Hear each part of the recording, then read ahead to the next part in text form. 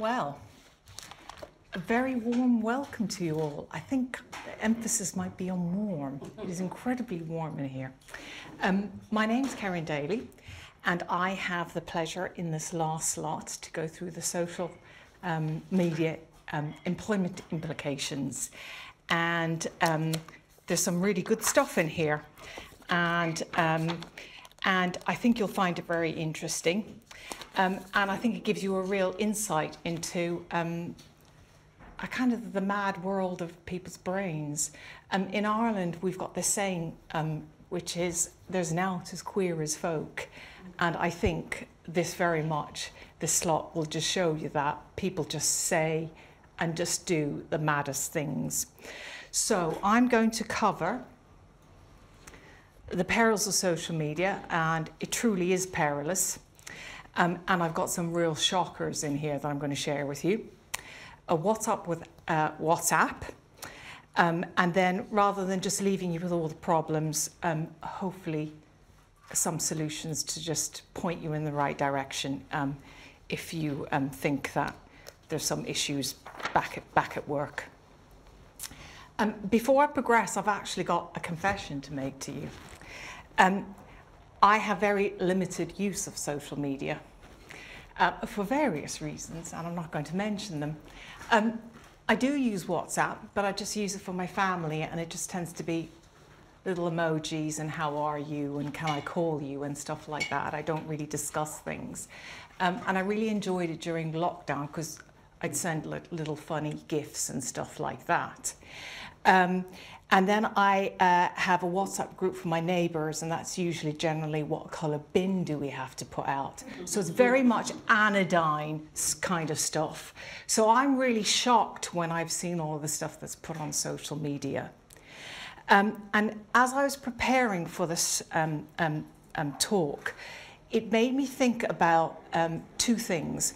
One is, have you ever sat in a meeting and someone has said something and you've looked at them, you're just thinking, I know that might have come into your head, but you do realize you actually said it. And I think it's a little bit like that with social media. Um, people think the maddest things and then they decide to just tell the world about it. And you're thinking it might have been a really good idea for it to have stayed in your brain, or perhaps maybe even not have those views. The, the other thing that I wanted to share with you as well, and I know this is going to be difficult in a big room, and I should, probably should have got it on a slide. Um, I got it for a friend, but I never actually got to send it. And, and, and it's, a, it's, it's a card, and it has a little monkey with, you know, the monkey see, monkey here, monkey do. So it's a, a monkey see. And the card says, and then alcohol said, put that on Facebook. the alcohol was wrong. So very wrong. so I thought, I, I, I do need to send that card to my friend. Anyway. Okay, so we're going to start off with the perils of social media. So this goes into my um, confession because some of these people I don't actually even know. Um, and some of them I probably don't know because I really don't care. Um, I don't know whether you can read it or not, but there's some really profound and just not nice views there. Um, the one word I could describe, um, uh, I'd like to describe each slide, but for this one, the one word is the consequences. And I'm sharing it with you because of the consequences. Um, so as you can see, this slide contains some tweets sent by Ollie Robinson and apparently years ago. The consequences are that he was given an eight game ban. I don't know whether that's good or bad. What you get paid like not to play, um, and he got a fine of three thousand two hundred. Um, but that really, I think, started the kind of, if I can put it in this way, the snowball effect. You know, like that snowball when it starts to pick up size and speed and goes downhill. Um, I think that started and we got to 2021. And for those of you who are interested in all of these type of things, there's a lot of sports related um, inappropriate social media comments. Um, and often they would refer to historic comments from eight, nine years ago. Um, and they resulted in suspensions and reprimands. Um, some of them would um, result in um, criminal proceedings someone got an 18 month suspended sentence Um, I don't know about you, perhaps maybe I am showing my age, but when I was at school, I was told by my mother and my father that sticks and stones may break your bones, but words will never harm you. It's really interesting that people are now going to prison for things they say, but then I hear about terrible things that happen in society, like an elderly person being beaten up and then the person doesn't go to prison at all. So I'm kind of, I don't really understand what's going on. But consequences, you can go to prison.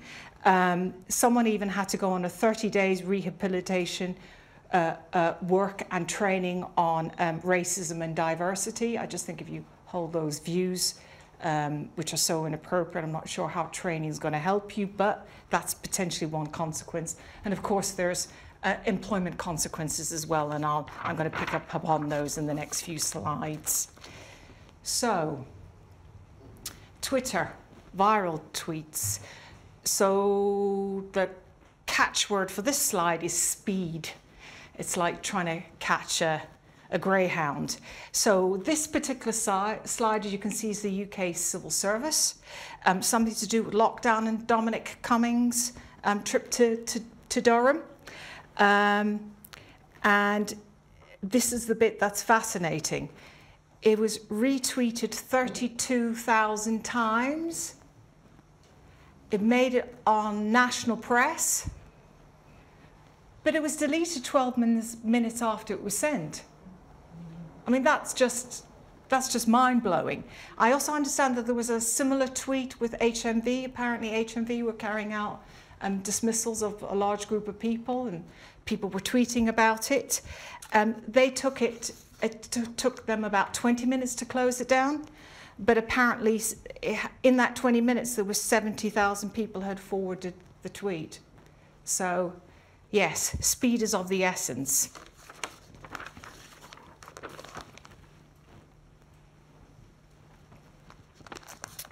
So now I just want to uh, touch upon um, Article 10, which is the right to freedom of expression. Um, I suppose the message here is don't think you are free to express yourself um, like it's some sort of constitutional right, like the Fifth Amendment in, in, in America. Um, that's absolutely sacrosanct. It's, it's not. Um, this example essentially is a reminder um, that if you are a statutory director, uh, you're a public officer, you're a councillor, you're a public servant like a, a police officer. You might be a trustee on a charity or a governor in a school, perhaps maybe a lawyer, a doctor, accountant, if you're some sort of professional. Um, if you express comments or views or observations about your organization or the work that you do or your role, um, you do not have carte blanche to say what you think.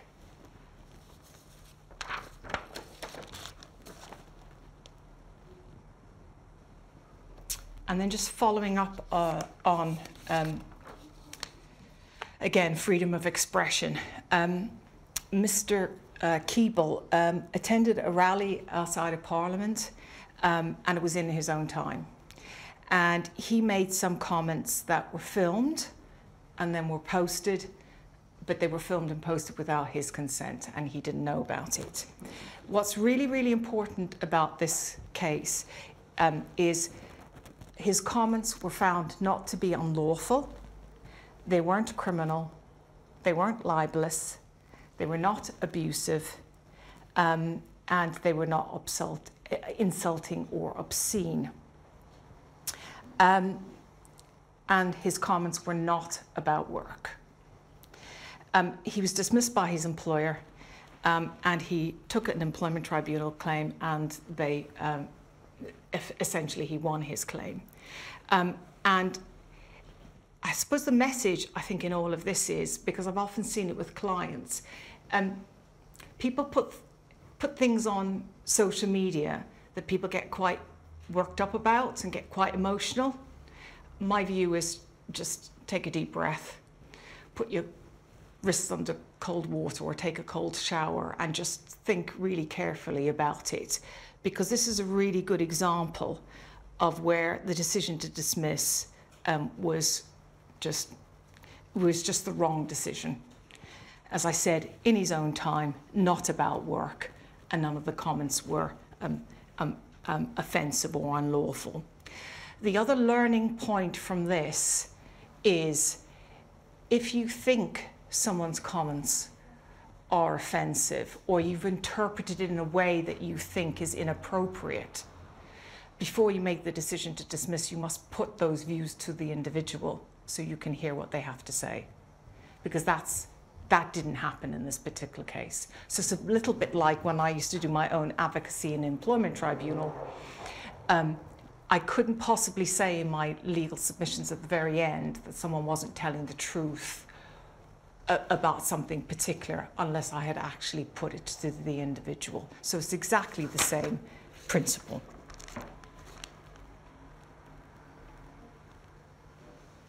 Okay. Um, this slide, uh, in a nutshell, is rather obvious. Uh, the lesson here is don't make derogatory comments about your employ employer on social media, which I know is incredibly obvious.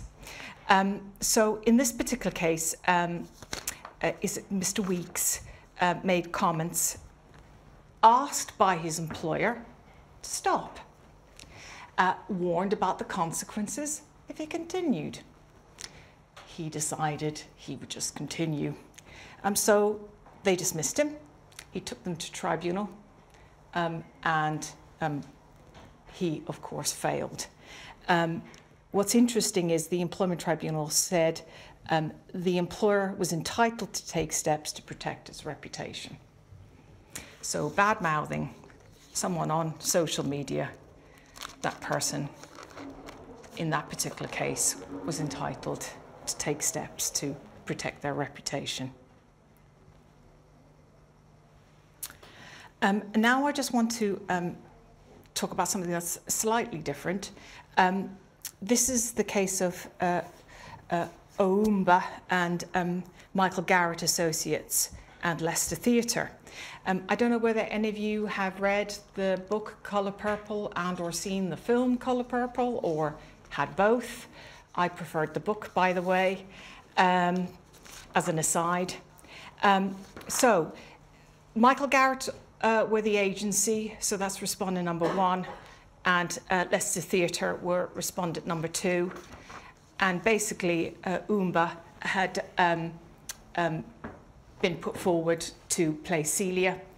Um, and in this particular uh, role um, and in the book, uh, there's a relationship between two women. Um, one of the cast uh, members must have, well, they must have stalked her in a way because they went on social media and found some really old social media where she had published her views, where she thought, where she basically said that she thought um, homosexuality was sinful. Um, and that particular person then um, tweeted it, uh, and then there was just a little bit of a, a media storm about it, um, and all about Omooba's being a bit of a hypocrite. Um, basically, what happened is the agency and theatre both both, both essentially sacked her. And she took them to tribunal. And the tribunal said her beliefs about homosexuality were protected beliefs. They accepted that. But then they went on to hold that she hadn't been discriminated against. And I just thought it would be useful just to pull out some of the, the tribunal um, findings.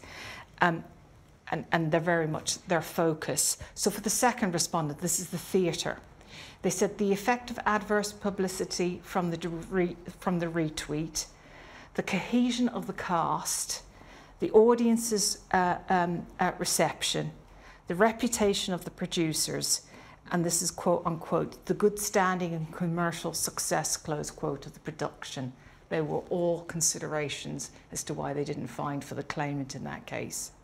And in respect of respondent number one, that was the agency, the tribunal said given the publicity storm, it threatened um, the agency's survival. They accepted that. So, um, I have something that's not on the slides because it came about two days ago. It's Higgs and Farmore School, and it went to the Employment Appeal Tribunal.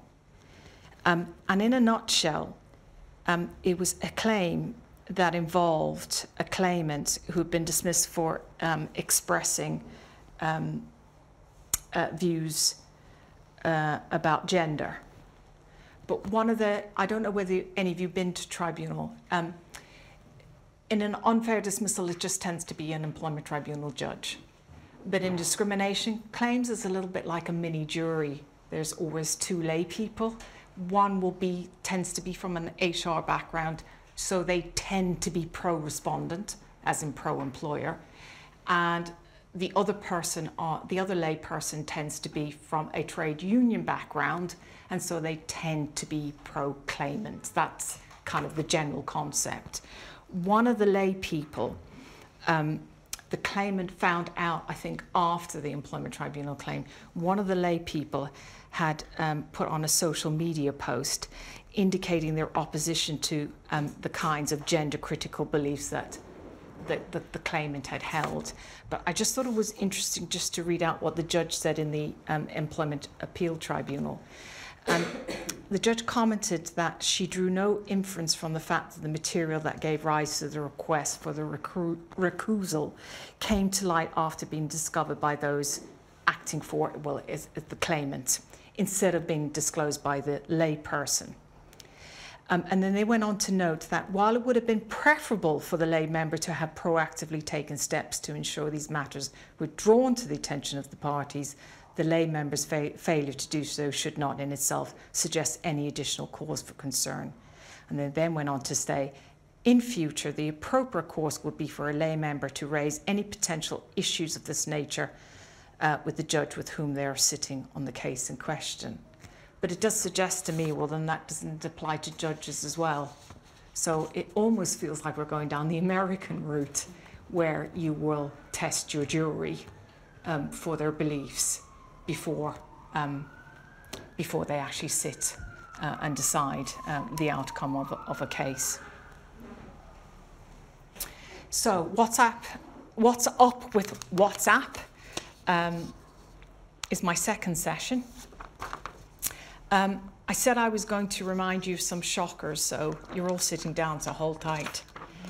Um, so I'm going to start with um, the police.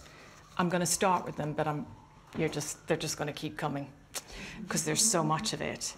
Um, okay, so let's start off. Um, so this is about a mocked George, George Floyd murder on WhatsApp. Three of them were charged with it, um, and, and the charges were sending grossly offensive images on a public communications network. The trial is going to be on the 28th and 29th of this month. So I'm assuming once we've got over what's happening today, because um, we'll have weeks of it, well then probably this'll this'll probably come. So um, no doubt when you hear it, you'll you'll remember this. Um, I suspect based on what you'll see next. Um, I think you'll agree with me, these, these um, two police officers and ex-police officer are probably going to go to prison.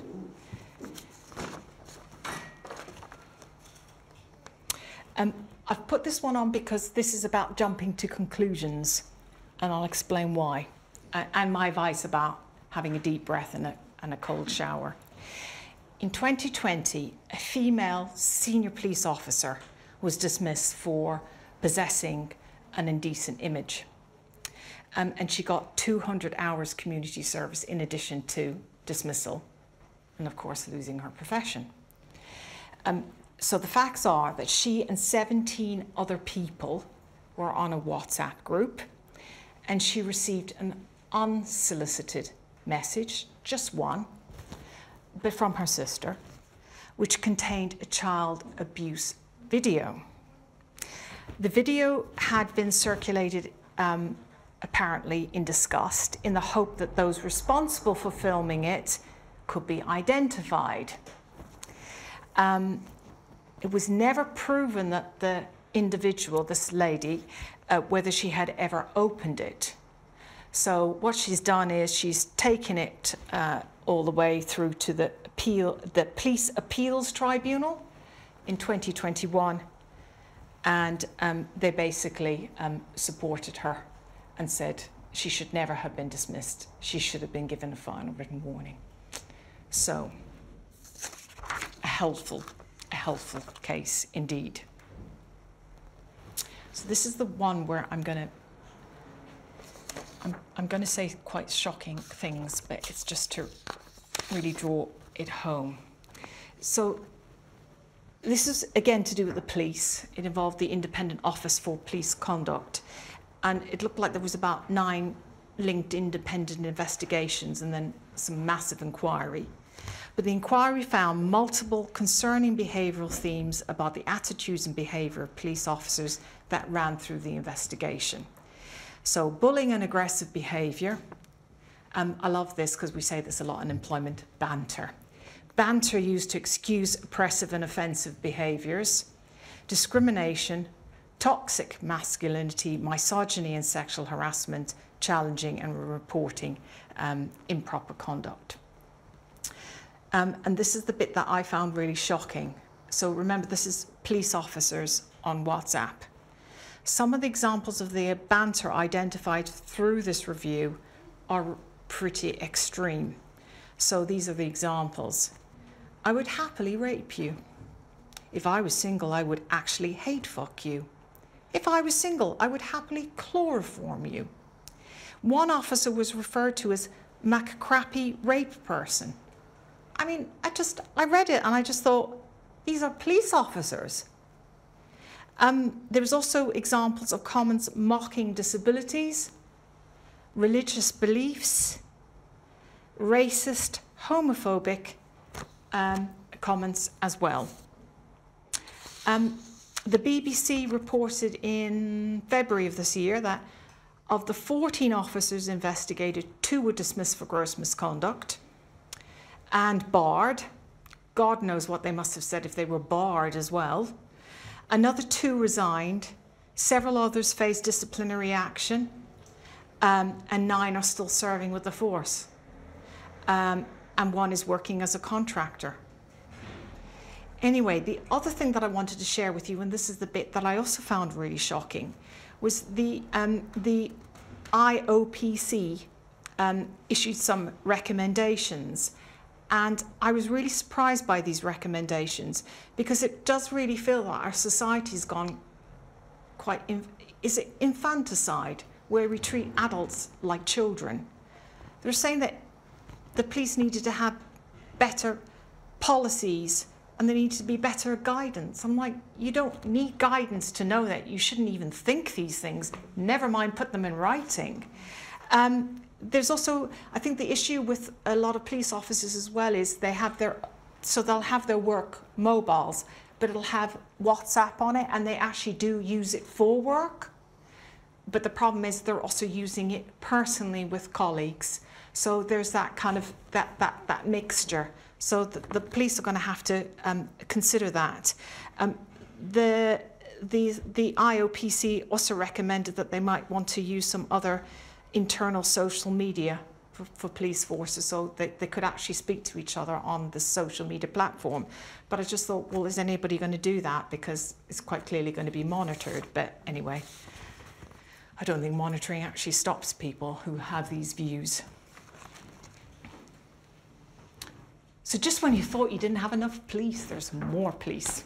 Okay, so um, I'll let you read it described as predatory, involved nine female colleagues, and either on Facebook or WhatsApp. And guess what? He was dismissed. And again, recent, uh, you probably did see this on the news. I definitely remember seeing it on the news. Ex probationary police officer posts racist WhatsApp memes he warned that he could face a jail sentence.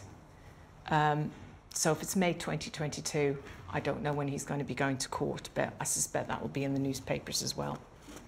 So not only does he lose his job, he goes to jail and he'll never ever be a police officer. But hey, serves him right then, doesn't it, if he has those views? Okay, so something a little bit lighter. Uh, this is um, to do really with private sector and it's to do with an injunction. Um, so the defendants were directors of the company. They had what I would call post-termination restrictions. Some of you might know it as restricted covenants.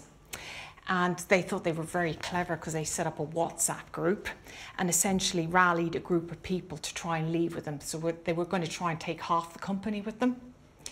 Um, and um, they were going to set up a competing business. And I'm assuming if they did, the, the, the actual business itself is a Sakar, Sakarma Limited, um, was a force, would, would have closed down.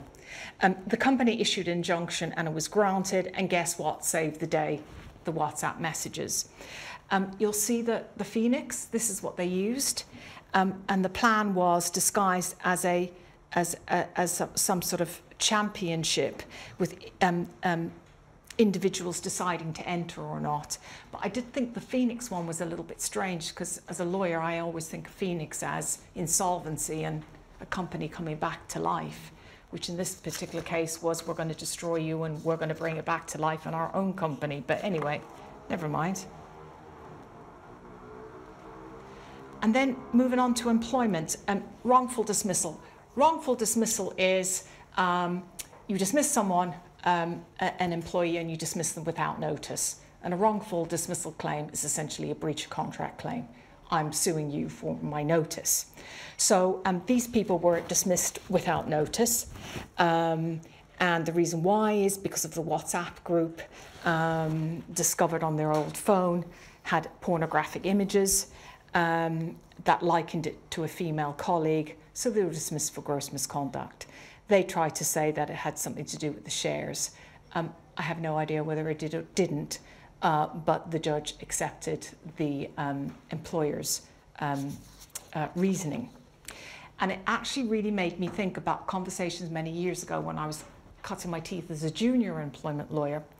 Um, someone senior on the board, like the managing director, would say, um, I really, I've really fallen out with my sales director or my ops director or finance director, but I don't really have anything on them. What should I do? And I'd say, check their expenses. Because you'd mm-hmm. always find people fiddling their expenses. The more they get paid, the more they fiddle their expenses. That seemed to me. And it just is really interesting, isn't it? All these years later, my advice now would be check their WhatsApp, check their social media. So in other words, the lesson is if you're very senior and people need to get rid of you, you need to be really squeaky clean in your social media because it could be used against you.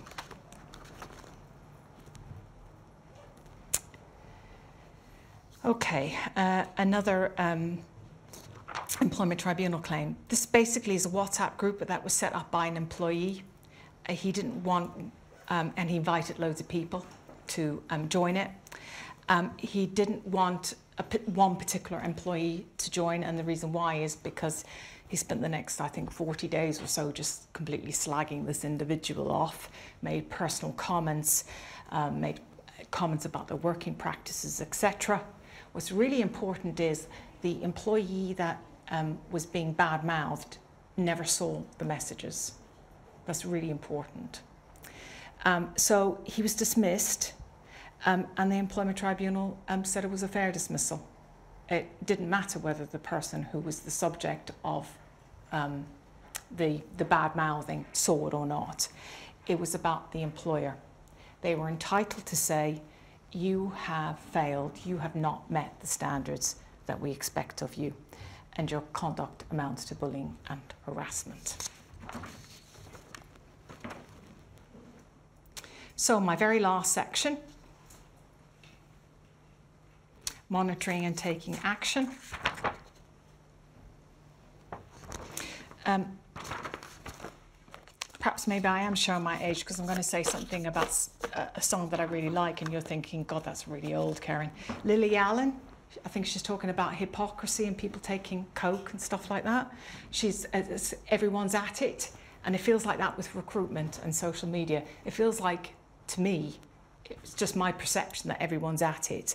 Um, I think the main considerations are data um, protection and data processing.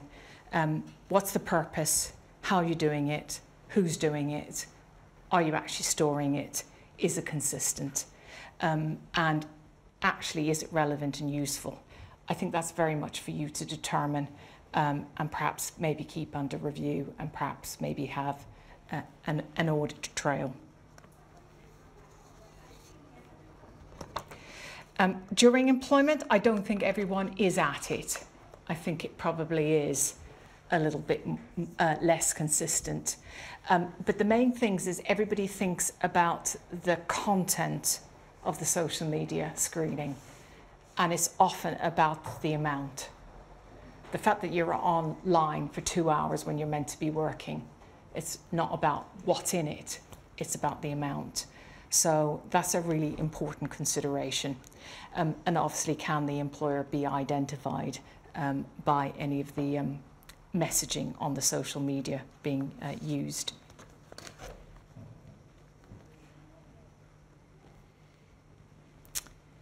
Um, it's also really helpful to um, know whether there's an internal policy and what the internal policy might say about usage and uh, the nature of the content. And obviously, the nature of the employee's role is really important. The more senior you are, the more um, serious it is. Again, content does it re um, refer to the staff, customers, or business? Um, and again, who has access uh, to the content?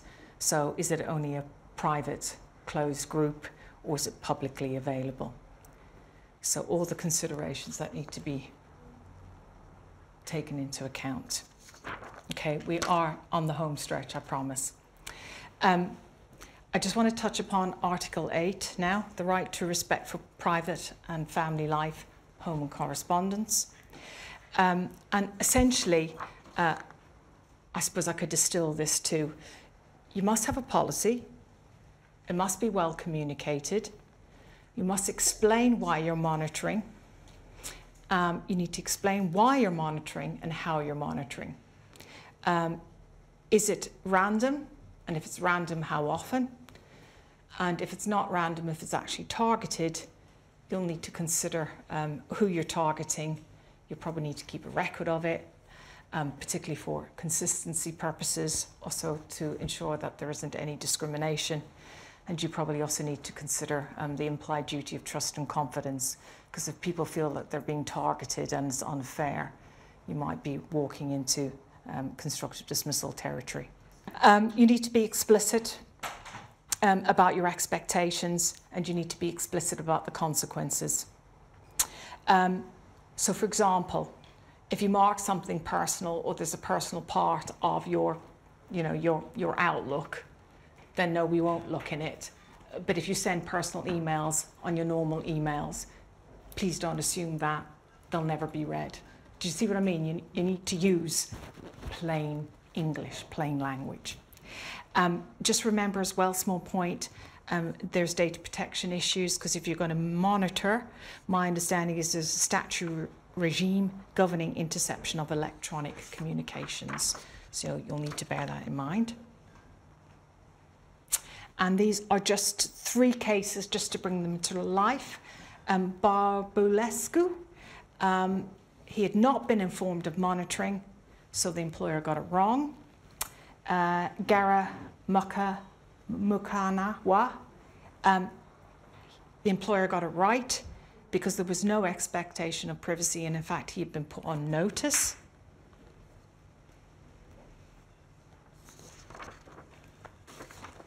And in the last one, again a police one, um, no expectation of um, privacy um, the content in this particular case, I think what really resonated with me is the crime scenes, because I've actually seen this before very early on in my career where a police officer must have um, taken or used, put, put crime scene photographs on and then it went viral because I've seen it in, in, in, employees' um, um, emails.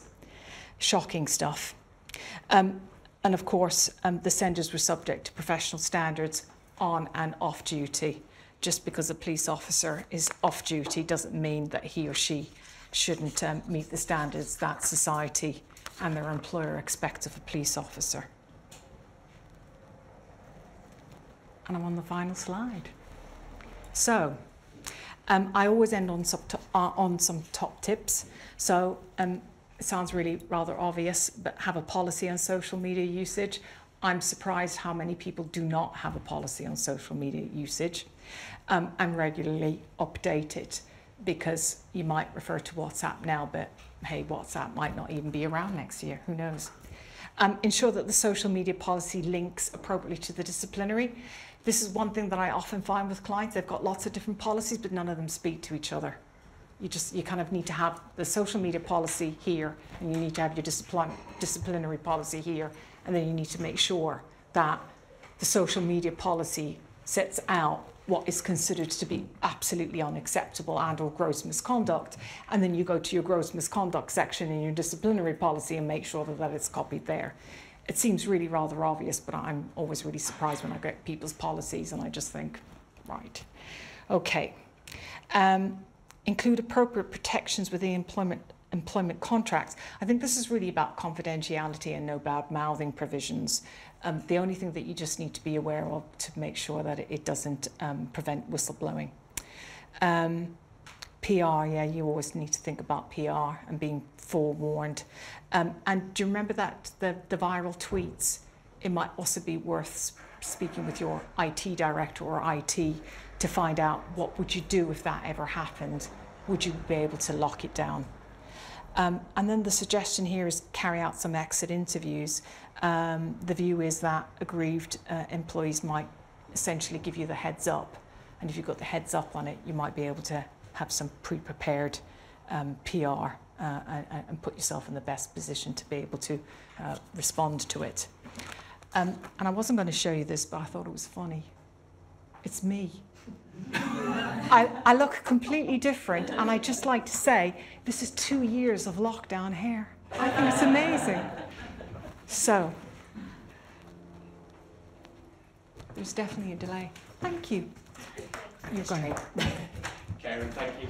Thank you very much. Um, so that brings it to a close.